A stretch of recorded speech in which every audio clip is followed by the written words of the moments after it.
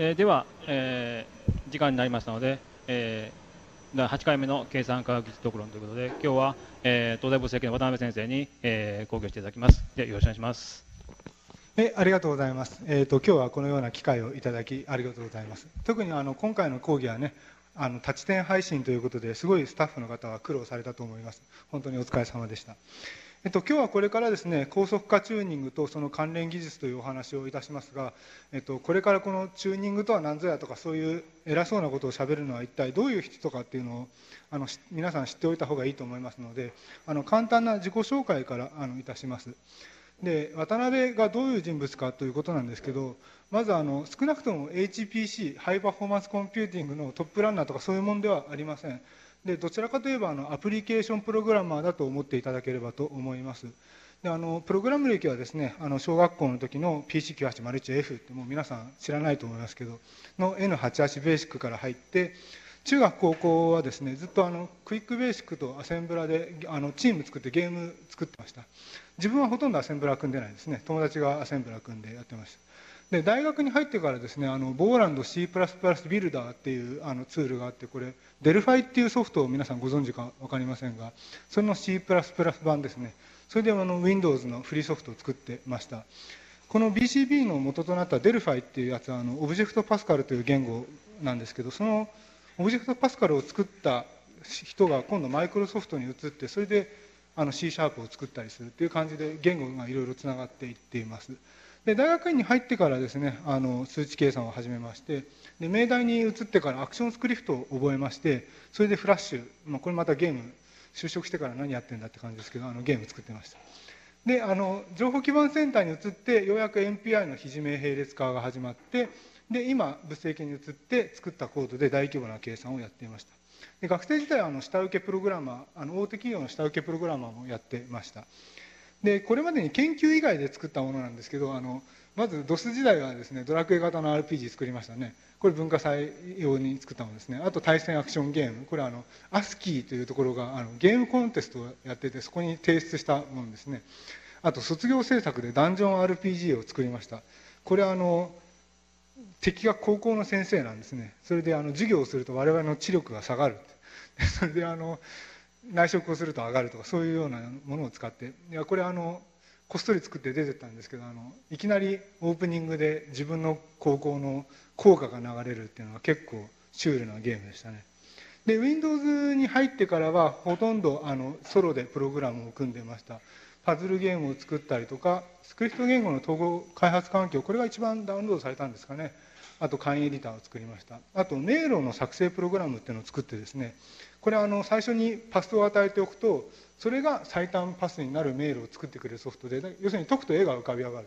あのヤンキー君とメガネちゃんとかいう漫画があるんですか？それのあの裏表紙になんかそのプログラムを作って作った絵が載ったりしています。あとは量子計算シミュレーターっていうのはあのこれ IPA がやってる未踏ソフトウェア創造事業っていうなんかプロジェクトがあってそれに採択されて作ったものです。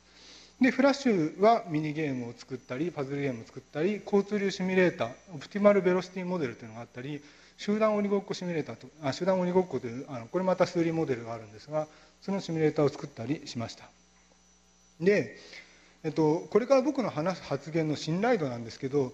えーとまあ、プログラム歴は割と長いです。あの随分長くプログラムを組んでてかつあの多人数で組んだり下請けでやったりとかいうことをしてますのでプログラムの開発方法であるとか、えー、とデバッグの方法良いプログラムの書き方特に複数人のプログラム開発については随分経験があります。だからこれは多分大丈夫です。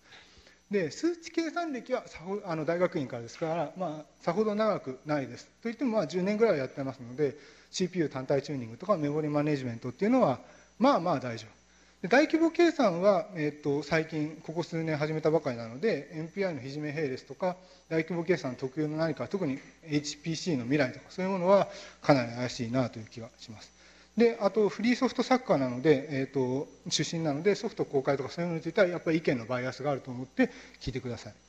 でこの講義のですね目的というかあの世の中の人は大体2つの分類されるわけですね。あの一般人とあの逸脱する方の一般人ですね。これはあの別名廃人というやつですね。でこの逸脱する方の人はですね僕も数名知り合いがいますけど特に HPC ではこうすごいのがいるんですね。大体大体どの分野にもすごい人はいるんですけどその三度の飯より高速化が好きみたいなアセンブラコンパイラーが出したアセンブラー見てちょっとこのコンパイラーがアホだからもう全部自分で書いちゃうとかそういうことをやる人がいるわけですね。あの他にもいろいろいるんですけど。でそういう人はですねどうせ勝手に自分でプログラムやったり自分で勉強するのでこの講義は見てないはずなんですね。あのこっちでこの講義で、えーと、の対象は一般の人オーディナリーの方。皆さん多分さすがに逸脱する方はここにいないと思いますけど。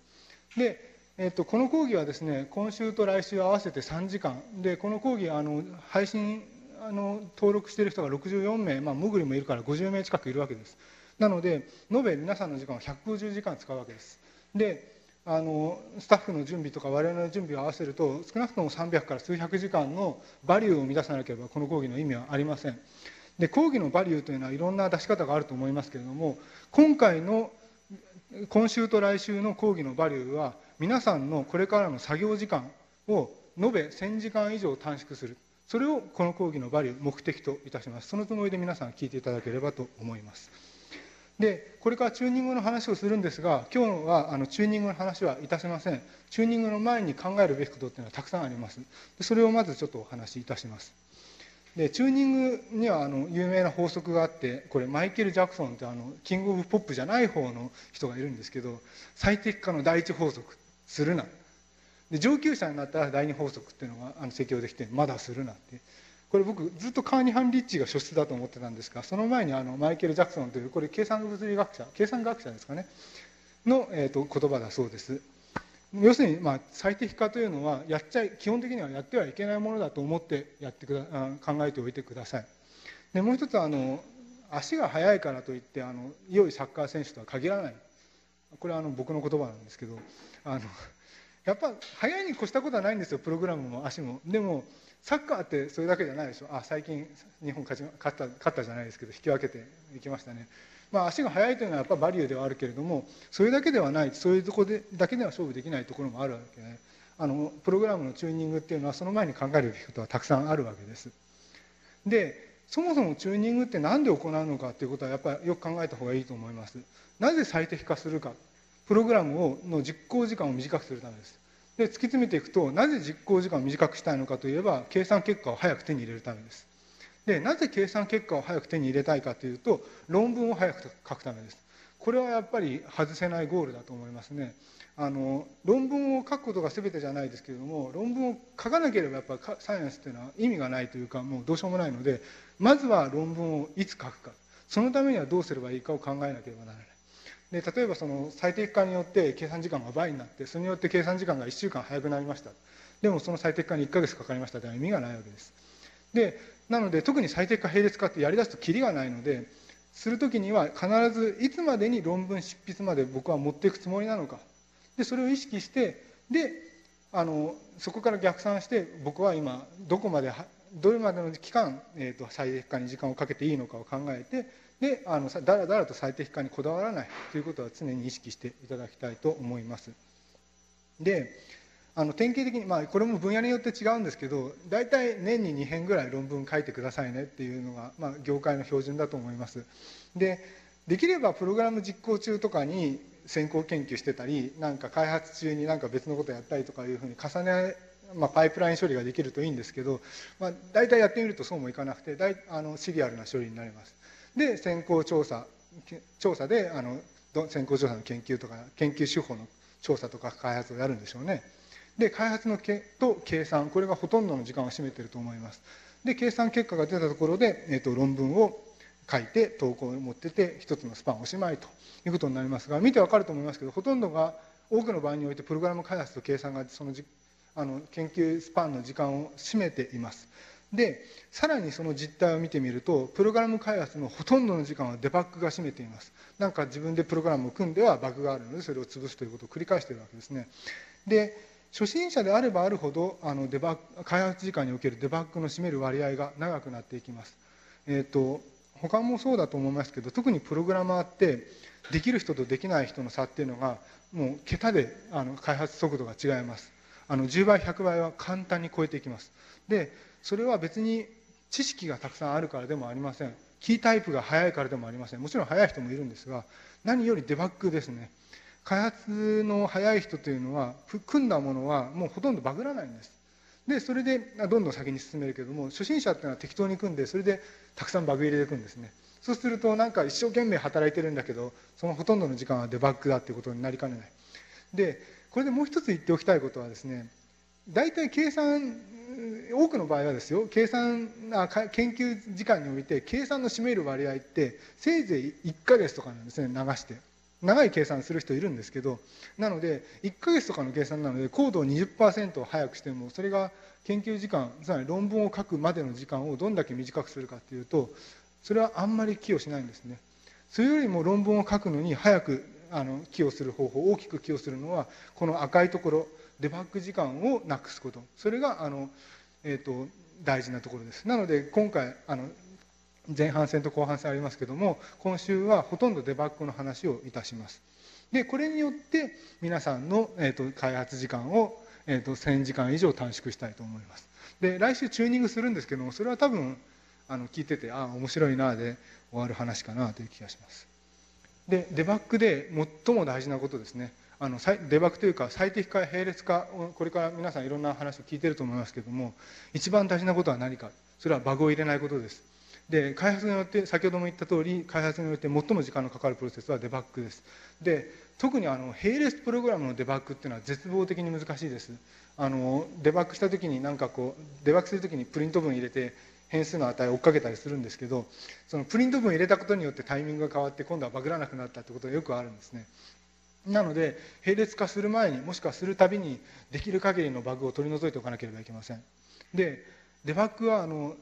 もっと大事なのはですねデバッグってあのすごい仕事した気になるんですね。あのデバッグバグ入れたって言ってでデバッグってデババグが取れるまで気持ち悪いからすごい集中してやるんですよ。で夜遅くまでやって明け方鳥がチュンチュン鳴いてる頃にようやく取れた。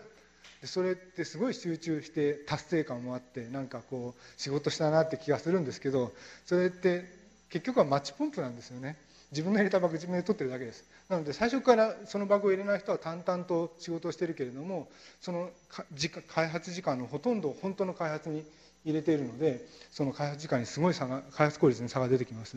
デバッグは仕事ではないということを常にあの心に肝に銘じておいてください。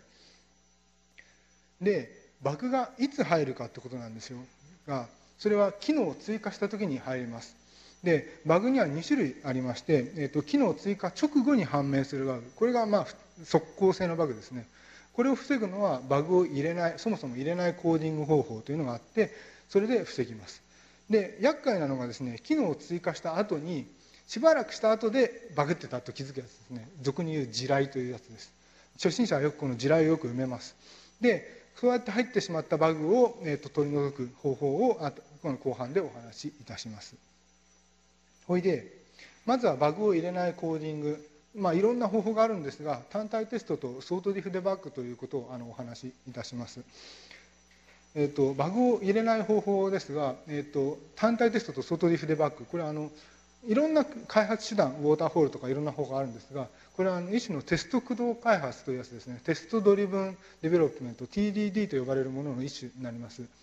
で単体テストとは何かというとそれはテストしようとしている部分だけを切り出してその部分だけでコンパイル動作するような最低限のインターフェースを作ってそれでデバッグすることです。で例えば最適化とか並列化する前と後を、えーと、比べて結果がちゃんと一致するということを確認していくで一番やっちゃいけないのはですね本番環境にいきなり機能を追加してそれであのテストするっていうのはやってはいけません。でソート diff デバッグっていうのは、えーと、プリント文デバッグの一種です。あのデバッグ手法っていろいろこうあのかっこいいのが出てるんですけど XP とか最近入りましたね。 extreme programming とかなんかいろんなの入りましたけどもやっぱり基本はプリント文デバッグですね。とにかくプリント文をたくさん入れて変数なり何なりを出してどんどんこうバグをデバグを取っていくっていう。でその中でもソート diff デバッグというのは出力情報を保存してソートしてから diff を取るのでその名前がついています。これはあの単体テストと組み合わせて使います。これの実例をいくつか挙げます。えーと、その前にですねデバッグのコツ、まあ、プログラミング一般に言えることなんですけどここまでは絶対に大丈夫っていう砦を築くというのがデバッグのことになります。あのあやふやな土台を作ったりどんどん進んでいくと一気にこう砂上の楼閣として壊れてしまうんですね。それがあの行ったり戻ったりっていう時間が、えーと、ランダムウォークになって開発時間を大きく伸ばします。それをゆっくりでもいいからここまでは絶対大丈夫っていう土台を着実に築いていく。これがあの上級プログラマーの、えーと、本質です。そういうことをやっているとあの何かバグっても一つ前の砦に戻ればそこまでは絶対大丈夫という自信があるのでバグの範囲が狭いんですね。それでデバッグが早くなります。ここまでは大丈夫という砦をどんどん築く作業。それがデバッグでありプログラミングです。でいくつか例を挙げます。僕があの専門とするのは分子動力学法特に短距離相互作用の分子動力学法なのでそのあの例にそれを例にします。で短距離相互作用っていうのはある程度以上粒子の距離が離れたら相互作用が切れちゃうようなそういう相互作用です。で、えーと、分子動力学法っていうのは全ての粒子対について力をどんな力がかかっているかを計算してそれでニュートンの運動方程式でどんどん経が時間発展していくという方法です。でこれをですねあの相互作用遠いところは相互作用してないのでそこで力を計算するのは無駄ですね。なのでどの距離にあ相互作用範囲内にあるペア粒子のペアリストというのを最初に作ってそのペアにだけ力の計算をするということをやります。それがあの流出リストペアリストの作成です。でそれを全流出について何も考えずにこいつとこいつはペアになってますかっていうことを調べていくとそれはオーダー n 次乗流出数を n として n 次乗の時間がかかります。なのでそれをオーダー n に落とす方法がグリッド探索と言われるやつです。でいろんな方法があるんですけどその本質は世の中をですねあの札幌みたいに格子に切るんですね。でその粒子がどの番地にいるかっていうのを教えます。あなた3番地に住んでますよ4番地に住んでますよ。で逆その住民票を一度作ってしまいます。これはオーダー N の手までできます。でその後でさてある粒子の、えっと、相互作用している粒子を探しましょうって言った時にはその粒子が3番地にいたならばその近くっていうのはどうして2番地か4番地しかないのでその周辺だけ探せばよろしい。その住民台帳を見てそこに住んでる人とあのチェックをすればいい。これもオーダー N ですんで結局オーダー N 事情がオーダー N に落っこちるというのであの必須の作業となっています。でオーダー N 事情っていうのは大体遅いんですけど、えっと、ポイントはですねこのグリッドリ探索を使った方法と使わないで単純に二重ループを回して、えっと、流出のペアリストを探す方法というのは同じコンフィギュレーションが与えられたら全く同じペアリストを作らなければいけません。それを、えっと、軸にしてデバッグをします。でもう一つ大事なことはですねオーダー N 事情の方法っていうのは二重ループ回すだけなんですね。何の、えっと、工夫もいりません。なので遅いけれどもあのほぼ信頼できる。それにバグが入る余地は極めて少ないんです。ここを砦にします。ででソートリフデバッグの手順ですけれどもまずは初期条件作成ルーチンとフェアリスト作成ルーチンそれだけを切り出します。時間発展ルーチンとか観測ルーチンは全て削除するっていうか、まあ、切り出してくる。でそれだけでコンパイル実行できるようにします。でオーダー N とオーダー N 事情のルーチンに同じ初期条件を与えてペアリストをダンプしますペアリストを作ってダンプする。でダンプ方法ですが作成された流出例えば5番と6番3番と7番がペアになってるっていうのを例えば3スペース7とかいうのを1行に1ペア吐いてダーッと吐いていく。でリストのはリストとしては全く等価だけれども作る順番が異なるので順番が変わってるはずなんです。でそれを、えーと、そう直すのがソートです。まあ、なのでまず最初にオーダー N 事情のコードがあったらそれを標準出力にバーってペアリストを吐いてでそれをソートかけます。でソートかけたらその後でファイルにオーダー N 事情で作ったファイルとして吐く。でオーダー N のやつも同様に吐く。最後にその2つの diff というコマンド diff というコマンドはテキストのファイルのどことどこが一致してるか一致してないかっていうのを探してくれるプログラムです。でその2つの出力をチェックします。チェックした時に結果が正しければこれは何も出力されません。全く同じファイルですと言います。こうなると,、えーと、ソートディフデバッグ完了。オーダー N のプログラムがオーダー N 事情のプログラムを取り出としてもう一個我々は先に進んだわけです。でやっちゃいけないのがやっぱりいきなり本番環境に組み込んで時間発展これ初心者であればあるほどこういうことをやります。早く結果が欲しい。早くこうなんかやりたい面倒くさいとかいうのやるんですけどこう切り出した方が遠回りした方が結局は早いですね。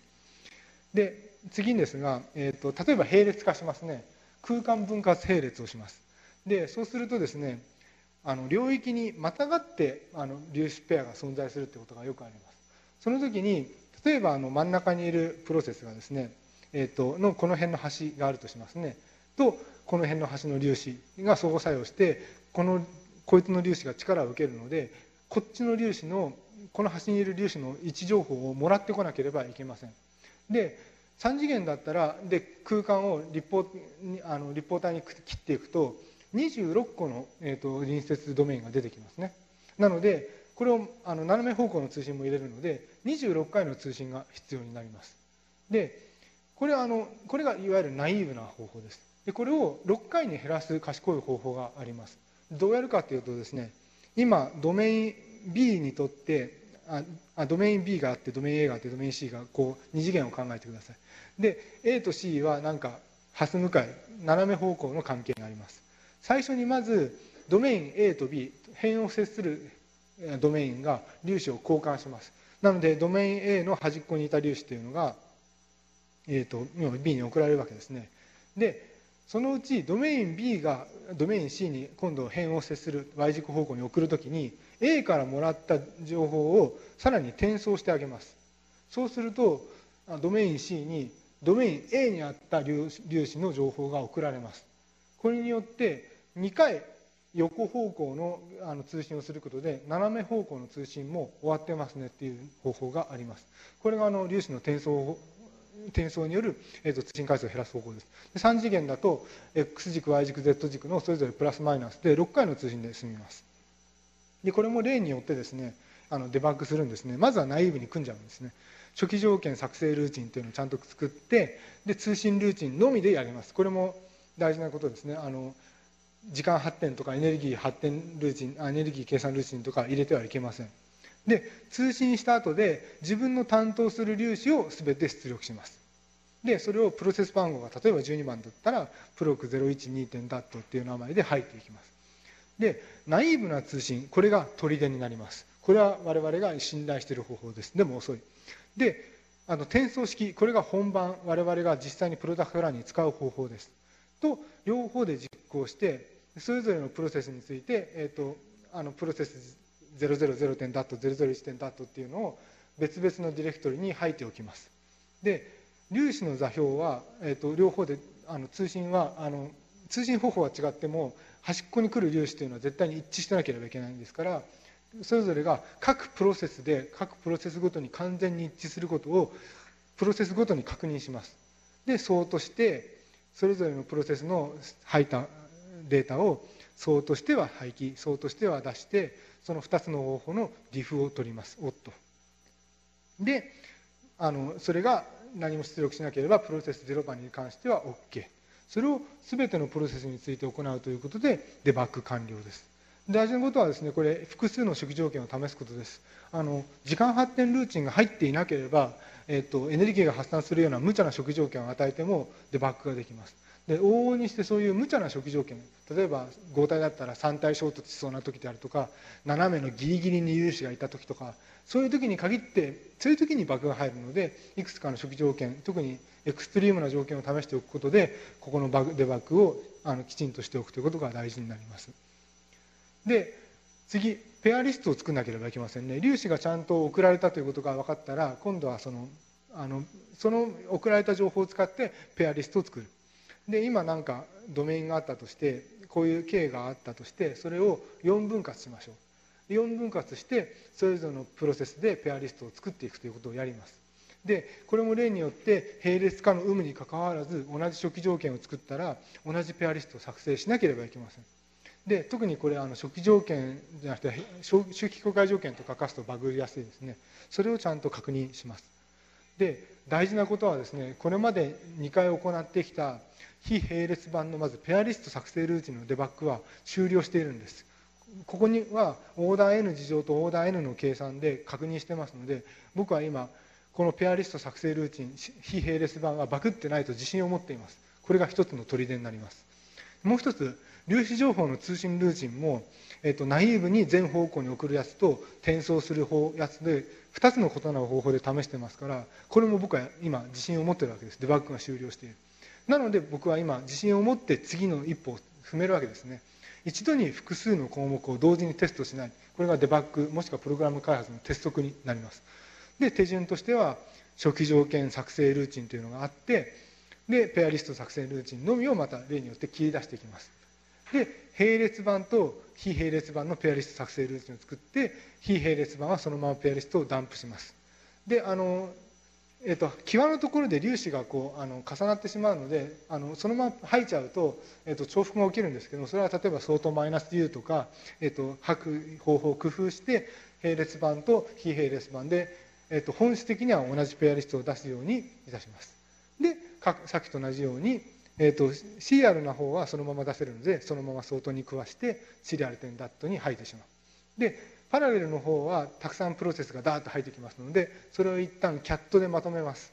キャットで全部まとめてそれをさらに相当に食わしてこうなんかパイプとか使うと Linux っていうか Unix 使いだなという気がしてなんかこう上級者っぽくなった気がしないですか？しないですか？えっと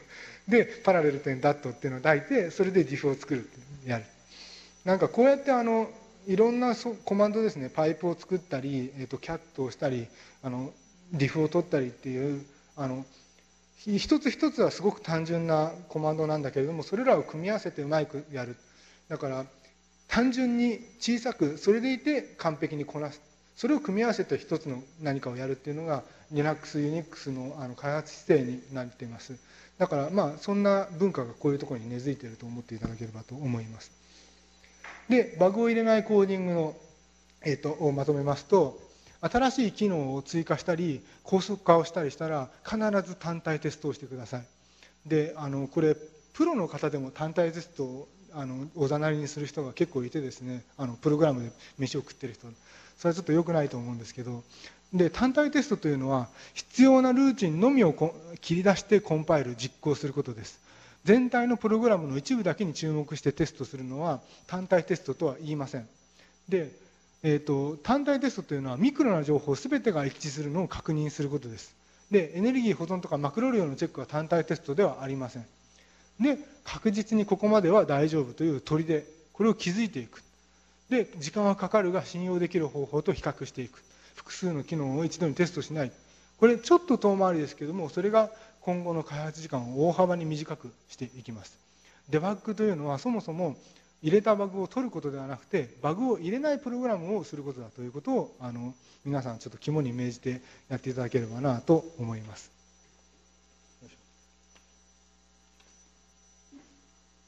えーと、ちょっと休憩。最近あのすごく忙しくてですね忙しいと現実逃避したくならないですか？あの昔ドラマでですね人という字はな人と人が支え合ってできてんだとかなんか先生が言ったりしましたよね。某先生が。知らないですか？もう皆さん知らないかもしれない。でその本当にこれ支え合ったらどっちにどれだけストレスがかかってるんだろうって気になりませんか？やってみました。何言ってんだって見れば分かると思うと。人という構造物を作ってですねそれが重力かけたらどれどこにどれだけ時間力がかかってるかっていうのを可視化しました。えっ、ー、とこれ集状態ですけどよく見てみるとですねあの下の人も結構辛そうなんですけど辛いとこ赤くなってます。あの上の人も結構えぐられるような痛みがこの辺に走るんですね。であの地味に背中もちょっと張ってそうですよね。結構厳しい。えっ、ー、といや単にこれだけの話なんですけどあのちょっとメッセージがあってですねこの現実逃避とは言ってもですねこのプログラム作るの100行でできてしまう。C 言語で100行です。あのでこれを数万体ぐらいのあの粒々の分子取り計算ですがこれがあの計算時間が1分で済んでしまいます。でただレンダリングに3時間ぐらいかかりますけれど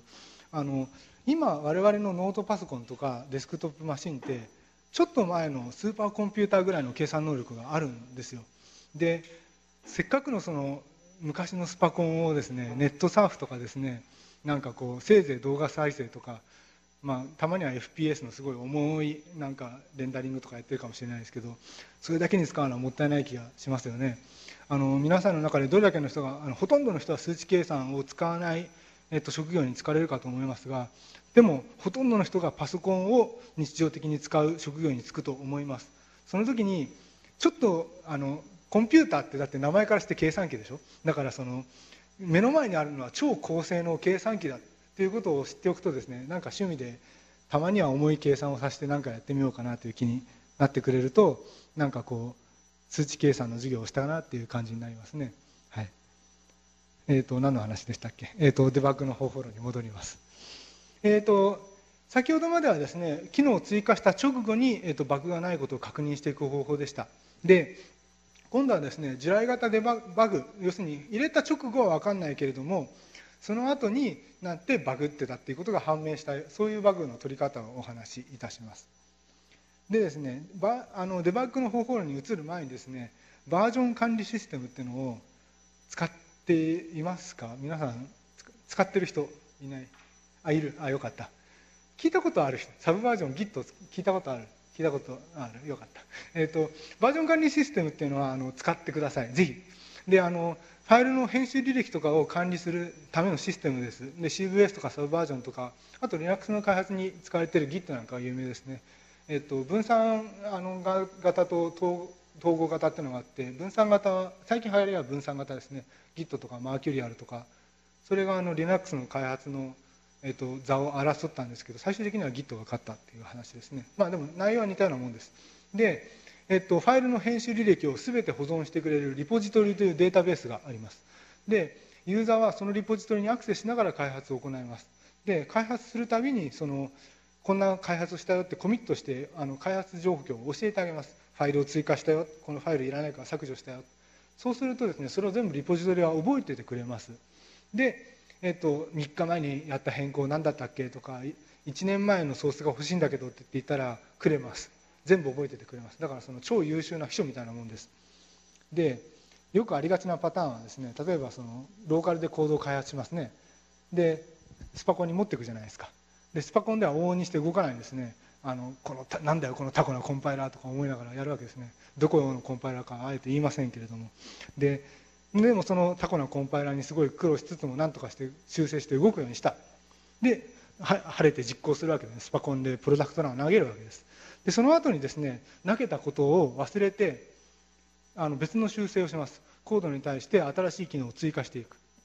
でコード B というのができます。でできた後にですねよしこれをスパコンに持っていこうじゃないかってスパコンに持っていってでコンパイルしようとしてあれこけた。でこの時にあコード A を上書きしちゃったってことがよくあるパターンですね。でコード A あの実行中あコード A を作るための要するにスパコンで動くための苦労っていうのは1週間もすれば絶対に忘れてます。ああこんなんだったなっていうのは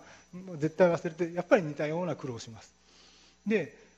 あのバージョン管理してないとこういうことが起きる。でバージョン管理してると全てはリポジトリを経由してアクセスすることになります。ローカルでコードを開発したらこんなコードを開発しましたと秘書に教えるわけですね。で、えっと、スパコン側に、えっと、データを持っていくときには直接送りません。リポジトリから、えーと、スパコンへチェックアウトという方法を使って持ってきます。コードを持ってくる。そうするとこのコードはバージョン管理下に置かれます。でコードが動かないからまたタコなコンパイラーとか思いながら、まあ、いろんなタコのコンパイラーがあるんですけど何でしたっけ、えっと、動かなかったので修正して苦労あ苦労して修正する。でコード A ができる。で大事なことはコード A を作ったよということを必ず秘書に教えます、えっと、これあのバージョン管理システムを使ってると習慣になります。もう何かちょっと修正したらあのリポジトリにコミットする。でそれを忘れてローカルで開発しますね。別の修正をします。でであのそのコードができたのでまたリポジトリに送ろうとするとここでリポジトリに怒られます、えっと、別のところで別の人自分なんですけどがコードを修正しましたよって言って怒られる。でアップデートしなさいと言われるのでアップデートするとコード A とコード B のどことどこが違ってマージできなかったからそれを何とかしなさいと言われます。でこの時にですねあのコード A とコード B のどこが違うかっていうことを全部細かく教えてくれますのであスパコンで動かすためにはこことここ修正したんだったと思ってコード B をスパコンで動かすバージョンコード C を作ることができます。これをマージと言います。で大事なことはですねこのマージとかそういうことではなくてコード A を作ったという苦労がリポジトリにあの歴史として残されていることです。上書きしちゃったらもうその苦労は水の泡ですけど何かリポジあバージョン管理をしていると全ての苦労全てのトライアンドエラーそれがリポジトリに残っているんです。なのであの無駄な努力というのはしなくて済みます。なので、えーと、これがあの、えーと、コードの重複ですね。あのプログラムの、えーと、開発の原則にドライ原則っていうのがあってドライ原則知ってる人います？いない。Do not repeat yourself で DRY do not repeat yourself でドライ原則って言います。同じことを繰り返しやるなということがあります。だからさっき言ったようにコードからコード A を作るという苦労を全く同じ苦労をコード B に対してしてはいけません。そういうことをすると開発効率がどんどん下がっていく。でリポジトリを使っているとそういうことがしなくて済みます。でバージョン管理システムの利点ですがちゃんと修正するためにコミットしていれば全ての編集履歴が保存されます。で好きな時点のバージョンの呼び出しとか、えー、と任意のバージョン間の比較が可能になります。でどのようにデバッグに役に立つかは後で口述します。で複数の環境でコードを開発するって、まあ、スパコンを使う時は絶対そうなりますけどもで混乱が少なくなります。でもう一つ重要なのがですねバックアップの代わりになります。バックアップ皆さん取ってくださいね。大体あの修論とかなんかなんかなんとか論の間際になるとですね忙しくなってきてバックアップ取らなかったりするでしょ？で忙しい時っていうのはマシンも忙しいわけですよ。マシンが忙しくなると何が起きるかっていうとハードディスクが壊れるわけですね。それで提出間近の修論のデータが吹っ飛んだっていうのをもう何度も見ています。いろんな人。バージョン管理していればバージョン管理するシステムというのは大体自分のローカルマシンとは別のところにあのサーバーを立てますのでそこに全てのデータが残っています。で壊れる確率2つ同時に壊れる確率っていうのは掛け算でものすごく小さくなりますよね。なので、えーと、バックアップの代わりになります。なのでこれはぜひやってください。でバージョン管理システムを使わない人のあの面倒だっていう点なんですけど修正前にまず他で自分がアップデートしてるあの修正してるかもしれないのでアップデートしなまずしないといけません。でそれもまあ慣れると習慣になります。もう端末に座ってディレクトリに入ってさあプログラム開始するぞって言った時に、えー、と最新状況にアップデートっていうのをもうやる癖になります。あとは全ての修正をコミットしなければいけません。サーバーにちゃんとこんな修正したよって教えなければいけない。でこれも面倒くさいんですけど慣れると習慣になります。あのワードファイルでバカでかいワードファイルでなんか作業してる時に不安になるでしょ？なんかすぐ小指かなんかでコントロール S って連打したくなりますよね。なんか修正するためにコントロール S って。最近さすがに落ちなくなりましたけどまた最近おかしくな Windows おかしくないんですよね。何の話でしたっけ？となのでそれと同じようにちょっと修正したら保存するっていうのと同じような感覚でちょっと修正したらコミットっていうことをやってやるようになります。でもう一つ衝突コンフリクトが発生した時に、えーと、バージョン管理システムはそれは起こって以降のコミットを拒否します。あのバージョンがあの要するに矛盾してるからそれを何とかしなさいと。でそれを面倒くさいっていう人もいるんですけど衝突に気づかずにアップあの上書きしてしまう方がよっぽど怖いのでそれはちゃんとそもそも衝突を何回もするってことはそれまで今まで何回も自分のした修正を忘れて上書きしてたってことの証左でもあるので随分時間を無駄にしてたなと思ってください。でバージョン管理システムを使うと作業効率が倍以上になります。でここであのそれを逆に言えば使わないと人生を半分損します。で大事なことはですねこれ1人で使ってる場合にだから倍で済んでるんですけど多人数でプログラム開発してる時にバージョン管理をしていないとシステムを使っていないと開発効率は桁で変わります。で皆さんの中で多分ソフトハウスプログラムを売りにする会社にあの就職する方いらっしゃると思うんですけどももしもプログラムを売りにする会社に入ってでバージョン管理システムを使っていなかったら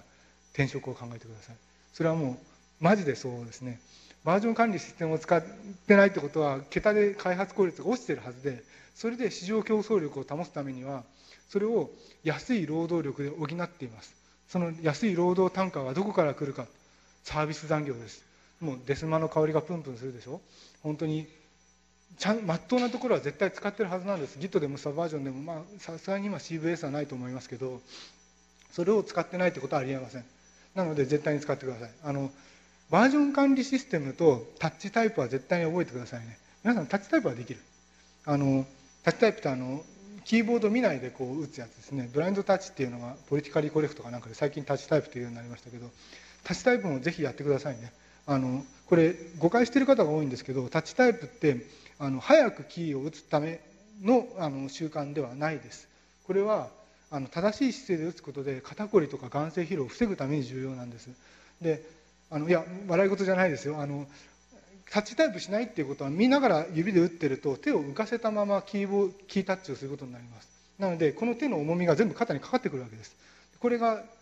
肩こりとか腰に腰痛とかになってきてそのキータッチうんぬんじゃないでしょ。腰痛とか持ったらもう開発効率が激減するの目に見えてますよね。なので正しい姿勢で、えっと、手の重さを逃がしながら、えっと、プログラムを組んであプログラムなりキータッチをするということをするのがあのタッチタイプのあれです。これから皆さんあのどんな職業に就くにせよパソコンの前に座りっぱなしになる人がほとんどだと思いますので、まあ、1週間も練習すればタッチタイプあのできるようになると思います。でその効果は一生涯です。でそれと同じくらいバージョン管理システムは大事です。1週間練習すれば誰でも使えるようになって、えっと、使ってみるとその肩こりしない人生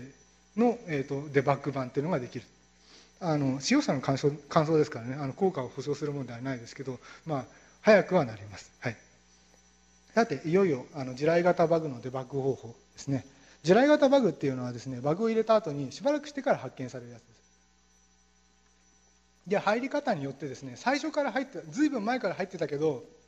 これまで気づかなかったタイプとか機能追加時に思わぬところに影響が波及したタイプっていうのがありますね。ででここでまず大事なことがもう今日大事なことしか喋ってないですけど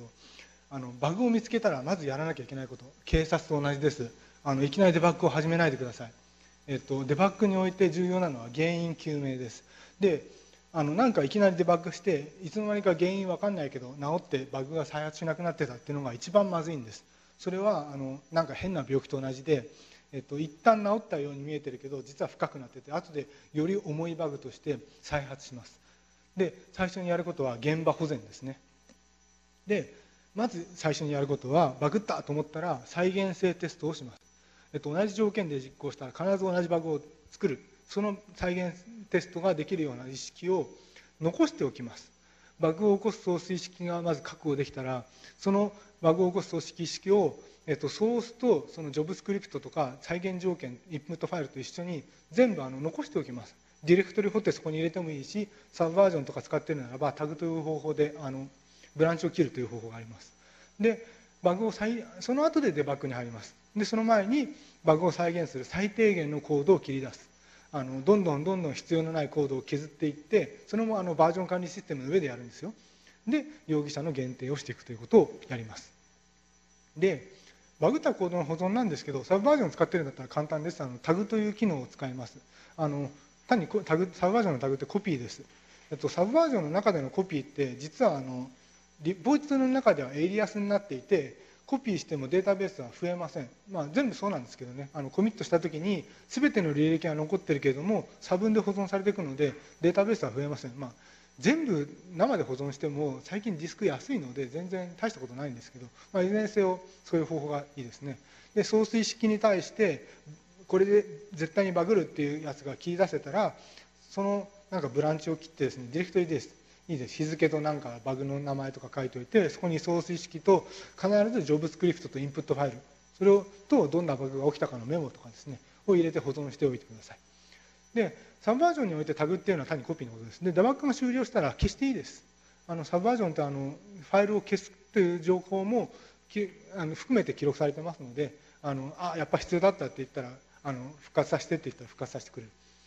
でなぜ保存しておくか。それはデバッグしたつもりが実は治ってなかったっていうことがよくありますこれはですね特にあのメモリアクセス違反の場合よくあるパターンですねその真にメモリアクセス違反を起こすバグっていうのは別にあるんだけども他のところを対処することによってたまたまあの無害なところに、えーと、エラーが移って治っちゃったように見えたっていうことがよくあるパターンですね。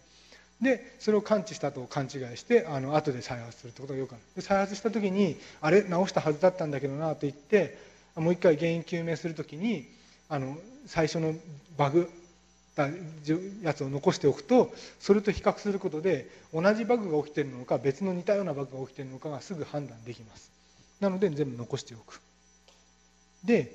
例えばですね今デバッグの例をしましょう。なんかプログラムを実行したら segmentation fault、まあ、 seg V と言われるやつですね。 segmentation violation とかそういうやつです。 SIGSEGV とか出てきたこれです。って言われて止まるというやつでバグったと思ったらやってはならないこと。いきなりソースを見ながら原因を探ってはいけません。大体バグってる時ってプログラムをずっと開発してた時なんです。そういう時って疲れてるんです。疲れてる時には絶対頭を使うデバッグっていうのは無理です。でやるべきことはまずどこで止まったかをすぐに調べます、まあ、あのあの容疑者を保存した現場保全した後ですよ。でどうやって調べるかっていうと、まあ、GDB 使える人は GDB 使ってもいいんですけど安直一番安直かつ確実世の中安直な方法が一番確実なんです。あのプリント文による二部探索ですね。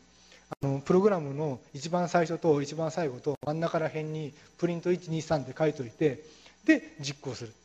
1と表示されてプログラムが segmentation fault って言われたら1と2の間だな。12と出て止まったら2と3の間だなっていうのを繰り返してこれ手間かかりそうですけど二分探索ってあのログであの探索できるのでものすごく早いですよ。で上記を繰り返してバグの発生箇所を特定します。でここで大事なのはですねバグの発生箇所つまり止まってる場所とバグが真に起きてる場所っていうのは一般に違うんです。で今こんなバグが起きました、えーと、N, N っていうのはですね整数10ですと。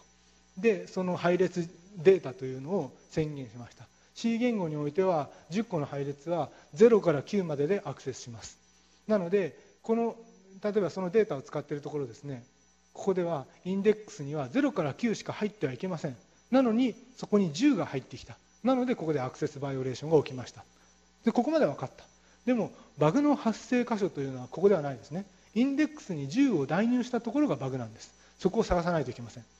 なのでそのおかしな値になった場所をどうやって探すかというとこれもまたプリント文デバッグというやつですね、まあ、C 言語を使っている方はアサートという機能を使うと早いです。あのシャープインクルードアサートってやってですねあのアサート点 H をインクルードしてインデックスを使っているところにこれを入れまくるんですね。アサートその中は満たすべき内容です。インデックスは常に N より小さければならない、えっと、これ慣れてくるとですね最初からあのデバッグじゃなくて開発段階からこうでなければならないっていう変数の時にはアサートを入れる癖がつきます。そうするとバグった時にあのすぐに真の発生箇所で止まってくれるので速くなる。でアサートの中には満たすべき条件を入れておきます。でその中が真である限りアサートは何もしませんが、えーと、アサートに引っかかる。つまりこの場合でいうとインデックスが n より真に小さくなきゃいけないのにインデックスイコール n だったっていう時にアサートに引っかかってアサーションフェールドアサートに失敗してますよっていうエラーが出て止まります。で止まったところに、えーと、ソースファイルのライン何秒何行で止まったというのが出てきてあここで壊れあおかしなことやったんだなということがあってバグの発生箇所が分かる。ここまであの頭全然使ってないの分かりますか？プリントを入れたりアサート入れまくるっていうのは全然頭使わない。でも今バグの発生箇所まで着実に進めます。そのプリント12っていうのもさっきと同じです。あの砦です。プリント123とやってって12と出たら1と2の間にはバグは絶対ないんです。2と3の間にしかない。そうやって砦を築いていくというのが開発のあの肝になります。ほいでこれがバグの例ですけどえーと、僕が最近入れたバグですね。与えられた整数 n について n 未満の数字をランダムに返す関数っていうのを作りたかったんです。でそれまあいろんな方法があるんですけど一番単純にはその C 言語にはランドっていう関数があってこれはあの0からランドマックスという数字までの整数を返す関数です。でランドマックスって21億4748万3647なんですけどこれイントの31ビットです。でそれをダブルにキャストしてからランドマックスで割れば0から1までの実数が出てきますね。それを n 倍すると0から n 倍までになってイントでそれをキャストするとキャストってこの切り捨てですけど0から n-1 まで出るですね。でで出るでしょうねってなってこれ確かに実行すると0から9までが確率10分の1で出るように見えます。でもこれあの勘のいい方も気づかれなかったと思いますけどもこれごくまれにあのランド最高でランドマックスをごくまれに返します。ごくまれってどんぐらいかっていうと21億4748万3647分の1でランドマックスを返す。これはだからこのマイランドイントっていうのがほとんどの場合において確率10%の確率であの0から9を出してくれるんだけども21億分の1でこれ n を返すんです。で n を返すってことはなんかインデックスにマイランドイント n っていうのをやってここがバグの発生箇所です。でこれが低確率でラージ N が入ってここでラージ N が入ったことによってあの領域外参照が発生するというバグです。これはあの頭の中の仮想実行でこれがあのバグを原因を発見できたその人はやっぱ天才だと思いますね。多分無理だと思います。天才いるんですよ。あの僕の知り合いにその全部頭の中にソースが入ってですねでプログラム終わって疲れたって言って寝てる時にですね頭の中で、ね、GDB が動いてるんです。デバッグが動いててなんか「あいけねバグった!」って言って起きて それでバグを直しに行くそういう天才だったらやってもいいですけどそういう天才じゃない人がこの講義を受けてるはずなのでその人は素直にプリント分デバッグアサート分デバッグやってくださいね。でこの種のバグの原因に初めから思い至るのは天才です。そうではない人はあの素直にプリント分アサート分デバッグをしてください。でもう一つ問題の切り分けとバージョン管理。あのバージョン管理システムを使ってると何がいいかっていう話ですけども機能を追加したらバグったっていう時にですねその機能を追加したことによるバグなのかもともとバグっていたものが顕在化したのかを切り出さな切り分けなければいけません。で例えばですね分子動力学法で圧力測定ルージンを追加したら、えっと、エネルギーが発散してしまったなんてことが起きた時にですねあの圧力測定ルーチンを作る時にちょっとだけメインループを書き換えているでそれが原因でバグったのかそれとも圧力測定をするために別の初期条件を用意した。その初期条件によって実はもともとあったバグが出たのかということを切り分けなければいけません切り分けないでやるとこれ全てのところが容疑者になりますけども切り分けてしまえば、えーと、測定ルーチンを追加したことによるバグであればその修正だけを見ればいいしそうでなければ測定ルーチンとかその修正というのは対象外になるのでそれいずれにせよあの容疑者が限定されてしまうわけです。であのバージョン管理してたら簡単です。圧力を追加する前のコードをパッと取ってきてでその時の与えた初期条件を食わしてみればいいんです。それでエネルギーが発散したらああもともとあったバグですねでそうじゃなかったらああ追加したことによるバグですねで追加した場合は簡単ですね。あのカーネルのがバージョン1バージョン2ありますけどもそこのディフを取って自分が何をしたかっていうのを調べればよいしこういうことをバージョン管理してるとあの非常に簡単にできます。でこれをなんかバグるたびに「どこだ?」って言って徹夜でやってる人とバージョン管理してるから「あちょっと前の取ってこよう」って人とどんだけ開発効率が違うかっていうのはなんか想像つくと思います。であの昔入れたバグほどデバッグが難しくなります。あのなんでかっていうとですね修正内容を忘れているからです。明日のたあの自分は他人です。でなんかバージョン管理しているとですね開発時間軸っていうのがあってなんかこうあのバージョン管理しているとバージョンのことをリビジョンと呼びます。であのプログラムを開発していくとリビジョン1リビジョン2リビジョン3とこうプログラムのバージョンが上がっていくわけですね。であるところでリビジョン5まで来た時にグッたと思った。でここでデバッグしないんですね。上級プログラマーあのはここでデバッグを開始しない。何やるかっていうとどこからバグったのか。もっと言うとどこまではバグってなかったのかを遡って探しに行きます。でバージョン管理してると簡単ですね。それも2部探索でやるんですけどあのリビジョン2まではあのバグってないということをすぐ分かった。ここが砦になります。いつだってデバッグプログラム開発はあのなるべく近いところに砦を築くというのがあのコツです。であとはそこから逐次たどっていって、えっと、どこでバグったかを調べればよしあリビジョン2とリビジョン3の間でバグったんだなということが分かった。あの今開発時間軸に対してデバッグ時間軸というのが横に下に落ちている。でこの時にリビジョン5に行って2に行って3に行ったって自由にこうあの某国民アニメのタイムマシンのようにこういろんなことできますね。そうバージョン管理システムっていうのはタイムマシンみたいなんです。あの開発時間軸を自由に行き来する。でさらにあのあのなんだ慣れてくるとブランチを切ることによって、えーと、さらにパラレルワールドを行き来できるようになったりします。であの Git とかマーキュリアルとか使ってる人はその大体ブランチとかを使っていろんなバージョンを切り替えながら開発するということをやります。であのデバッグ目的以外にでもですねあのジョブの実行した時のソースが欲しいってことがよくあります。でプログラムって大体長いことハウスコードってこう追加して追加してやっていくでしょ？その時にですね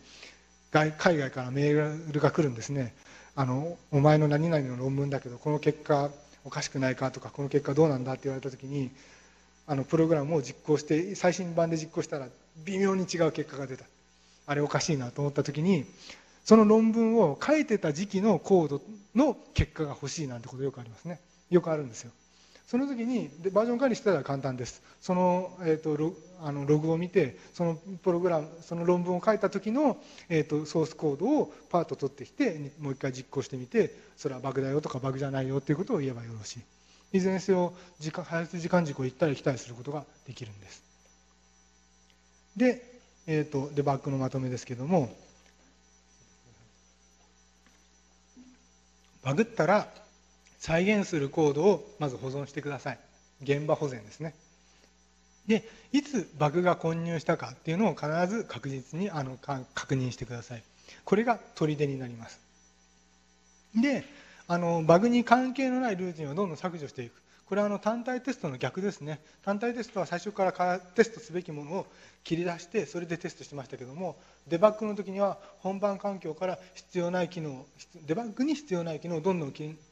除いて取り除いて重要なところだけをやる容疑者を限定していくということをやります。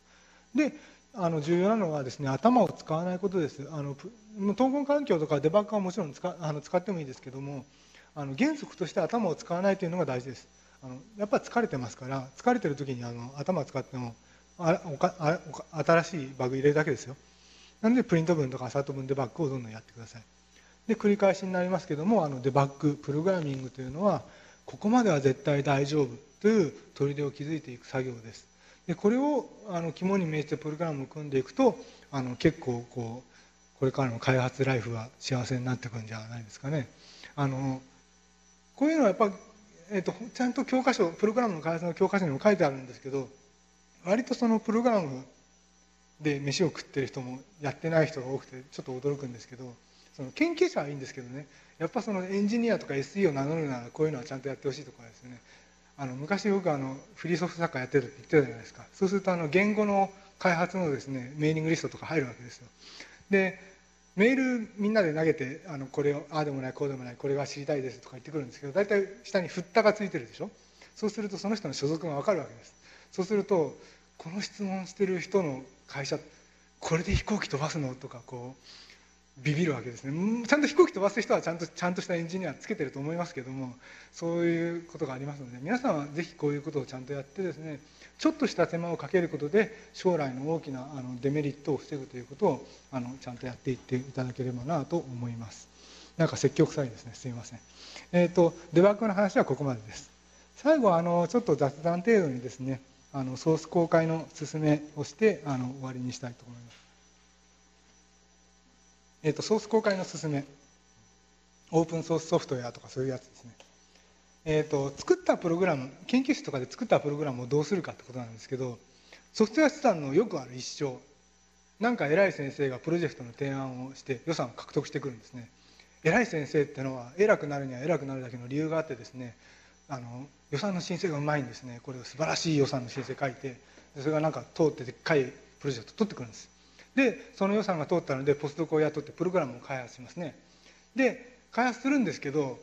プロジェクト終了するとそのポスドクどっか行かなきゃいけないですから開発がストップします。その偉い先生っていうのは偉いから忙しくて自分ではプログラム組めないんですね。だからポスドクが作るんだけどもプロジェクト終了したらプログラムが開発ストップしてそのまま誰にも使われずに朽ちていくと。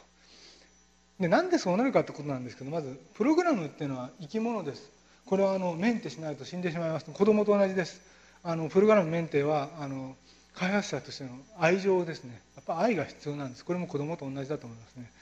で予算ありきでプログラム作ると基本的には同じ道をたどります。これどうしてかっていうことなんですけど予算が取れたさあ作りましょうっていうプログラムは真に必要ではないんです。だって予算が来なかったら作んなかったってことでしょ？本当に必要なプログラムだったらもう組んでるはずなんです。あの実験装置は別ですよ。実験装置ってのはもう予算が作んな来なかった。りなんか実物を作るやつなら予算が作んな来なければどうしようもないですけどプログラムってだって基本的に OS も開発環境も全部タダで手に入るわけですね。なので本当に自分が欲しいものだったらもう作ってるはずなんです。なので予算ありきでプログラムを作ると大体あの同じ道をたどります。それは本質には愛着がないからです。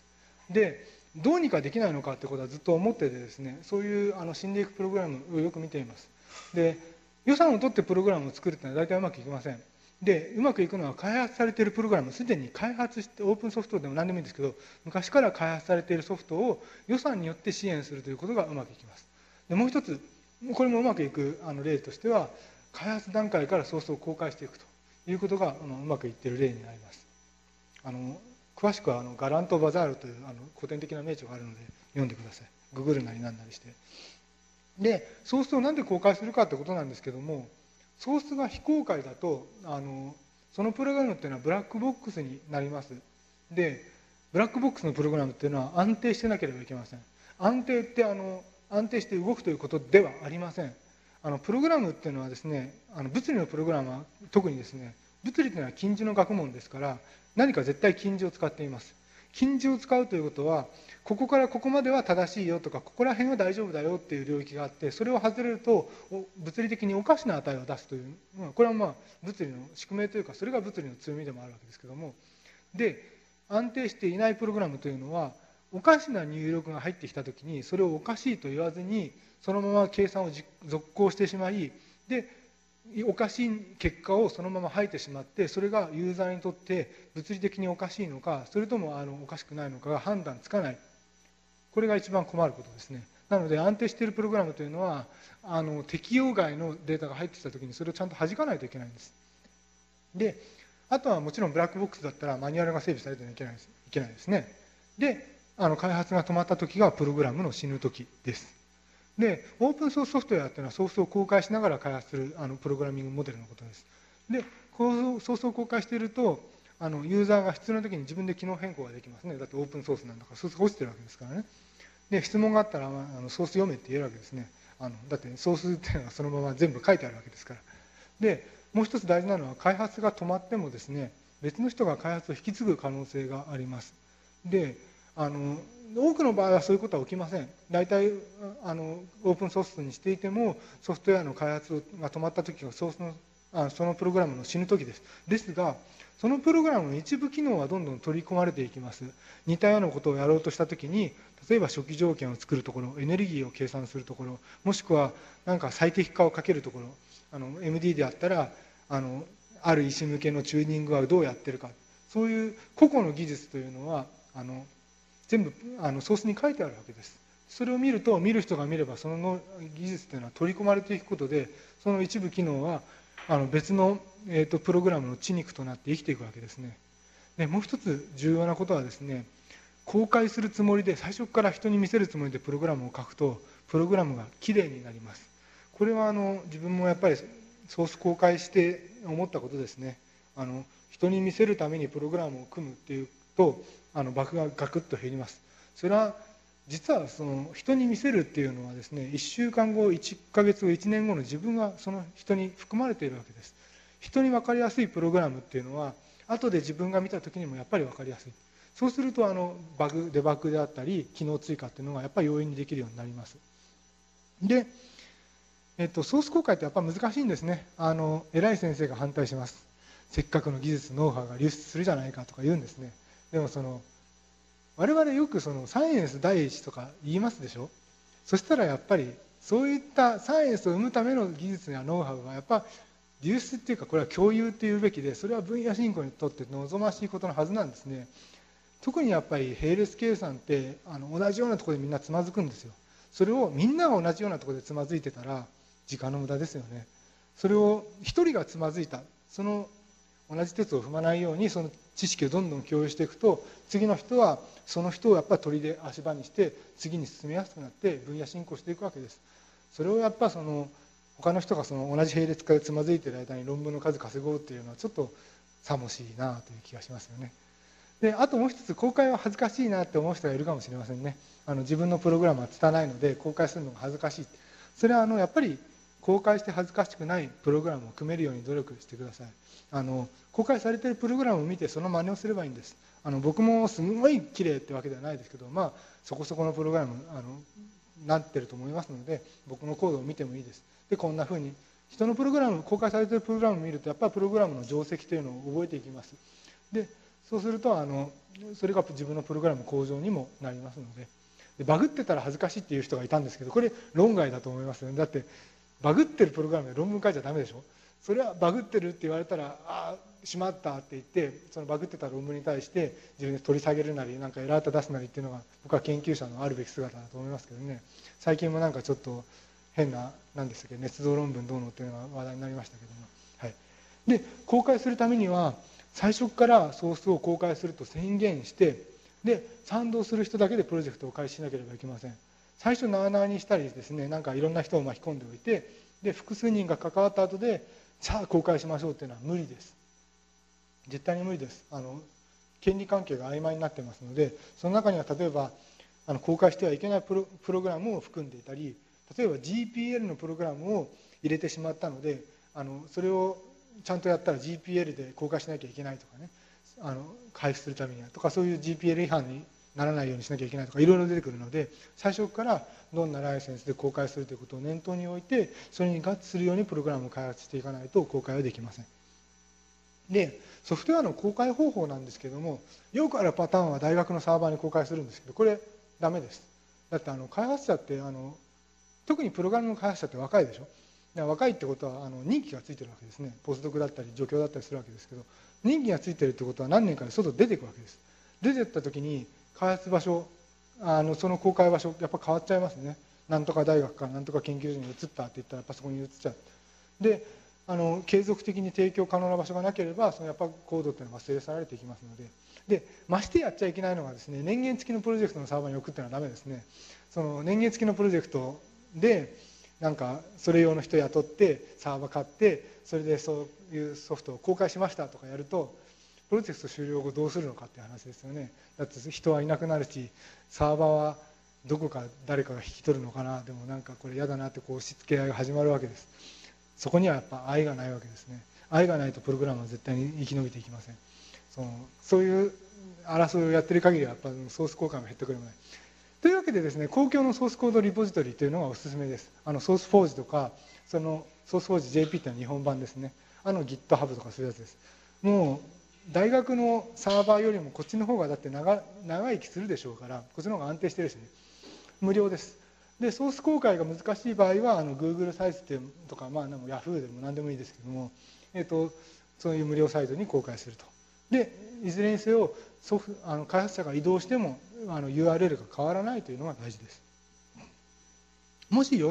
算に余裕があったり自分で未然に起きるあの余裕があるんであればあのドメインを取っちゃう。っていう手もありますね。そういうそこもやっぱ愛だと思いますけどね。あのドメイン取るっていうのはやっぱお金かかりますけどもそれは予算が取れなくても自分未然に起きってそのドメインを維持するというやっぱあれがあるわけですよ。いくつかそのドメインを自前で持ってるあのオープンソフトソフトウェアっていうのがこの CMSI の授業でこれ CMSI の授業ですけども CMSI のソフトウェアでもありますけどもそれはやっぱり愛を感じますね。はい。でソースフォージ .net の例ですあの使ってる方もいらっしゃるかと思いますけどもあの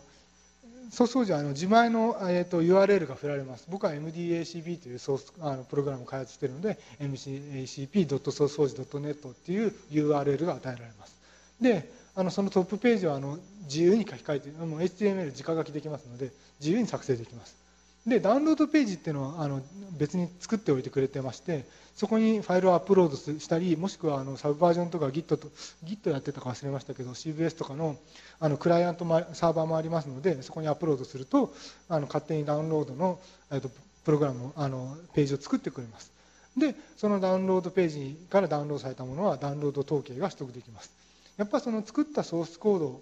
やっぱり多くの場合において税金を投入して作ってるわけですからどんぐらいの人が使ったかぐらいは把握したいところなんですよね。だからダウンロード統計を取るっていうのは僕はまあ絶対条件だと思いますけども最低のでソースフォージ .jp っていうのもあります。これはあのソースフォージの日本版ですね。本家と若干インターフェースが違います。特にあのシェルでつなぐところが違って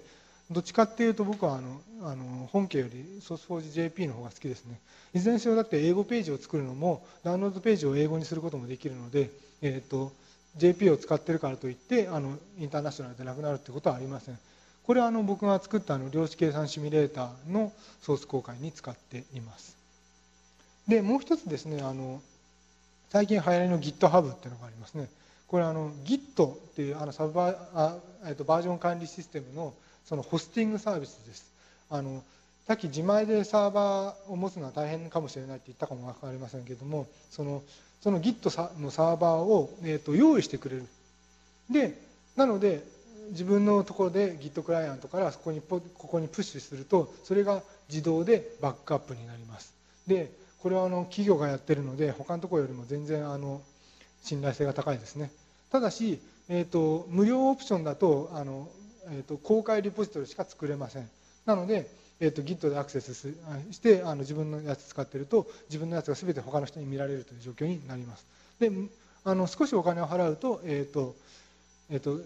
パブリックでないプライベートなリポジトリを作ることもできます。それでプライベートなことを管理することもできます。僕はあのプライベートなサブバージョンサーバーを自前で持っててでそのうちいくつか有用かなって思うやつを GitHub にサンプルコードとして載せたりしています。でこれ面白いのはあのホスティングサービスだけじゃなくて SNS 機能まあ、嫌いな人もいるみたいなんですけど SNS の機能もあります。あの人をフォローしたりとかですねフォロワーしたりとかですね。あとはウォッチあのこのプロジェクトが変更したらあの教えてくださいねっていうウォッチしたりですね。あとはもっと重要なのはですねあのブランチを切ることができますね。フォークと言います。ある人のプログラムを触りたい。で触るけどもなんかそのまま直接いじったらその人の迷惑になりますよね。なので自前のところにパッとコピー取ってきてそこでわーっと修正する。で修正してデバッグしてこれは有用な機能だと思ったらあのこの機能を、えーと、本件にも取り入れてくださいよってあのあのプッシュリクエストとかプルリクエストって言いますけどプルリクエストすることができます。でそうやってあのプログラムのもともとの開発者はあそれはいい機能だと思えばそれを機能を取り込んでいけばよろしい。Git の持つ分散バージョン管理システムという特性を生かした SNS 機能になっています。でここに公開するとですねあのソースとか全部色付きで表示されたりして下手にあの自分のブログに貼っつけるよりも楽ですね。ここに載っけちゃった方があのいろいろ見やすくていいです。でソース公開のまとめです。あのアカデミアで開発されたプログラムっていうのはソース公開しないと多分ほぼ死にます。アカデミアで開発っていうのはさっきみたいにあの温度を取ってせーので開発したやつですね。逆に言えば生き残ってるやつっていうのは全部個人プロジェクトですね。もう愛がある。何度も言いますけど愛がある。自分のプログラムが欲しいから作った。それを開発する。それがプロジェクトで何かの予算が取ってきた人が支援したりその目玉商品としてこう売り出すかもしれないけどもあくまでそのプログラムにはその人の顔がある。愛がある。そのプログラムはやっぱそのプロジェクト予算の年限が切られたプロジェクトが終わっても生きていくんでしょうねそのプログラムが生きていかなければいけないかどうかっていうのは僕は難しい問題だと思っていて、まあ、生き延びるに越したことはないと思いますけどまあ予算もらってプログラム書いてそれで何本か論文期間内に書いたそれでいいじゃないかって思う人がいるかもしれないですけど結構大事なことって論文に書かれないことが多いんですよね。あの論文書くときにその苦労した点っていうのがあってでも論文は苦労した点ではなくてサイエンティフィックに重要な点を書くのでそこで落ちていくノウハウっていうのがあるわけです。それがソースコードにはやっぱノウハウの塊が残ってるわけですね。でせっかくやっぱ予算を使って開発するのであればそのノウハウを世の中にあの還元していくというのも税金の使い道としては正しい道ではないかなという気がしています。であのうまくいくのはさっきも言いましたけどもともと作って公開するつもりだったソフトウェアをプロジェクトの形で支援環境を整えることです。でプロジェクトの支援とは公開場所を提供することではありません。マンパワーを提供することはもちろん重要ですよ。あの何か人をつけて並列化したりチューニングしたりするのは重要だと思いますけどもそれだけではない。一番大事なのは開発者がそのプログラムに集中することを仕事として認めることです。やっぱその開発あの物理の世界というのは論文書かなきゃいけないんですね。だから論文を書くことが重要でプログラム開発っていうのはそれ自身としては仕事として認められないあの風潮にある。その状態でどんどん開発者を育てましょうと言っても無理です。やっぱりプログラムを開発するというのは一つの技能として重要なんだということをみんなで認める風潮がなければ開発者は育っていかない。それは最終的にはやっぱりそういうポストを用意しなければならないと思うんですけど、えっと、今日のまとめ。バージョン管理システム使ってください。あのタッチタイプと同じです。あの肩こり開発の肩こりしないようにしましょうね。デバッグのコストを意識しましょう。すごい仕事して仕事してるつもりだけどデバッグだったとか言ったらそれはやっぱりあのダメだってことですね。あの自分の限られた時間をなるべく有効な開発に使いたい。そのためにはバグを入れないプログラミング。素早くデバッグすることを今日お話しました。それはあの砦を築いて前に進んでいくという方針です。ソースはやっぱ公開してください。開発に費やしたコスト。それは自分の力あの時間もあるしやっぱりそこにはだいぶあの税金も入ってますのでその開発に費やしたコストを還元して他の人がつまずくその石を取り除いていくっていうそれをノウハウをシェアしていくというのは僕は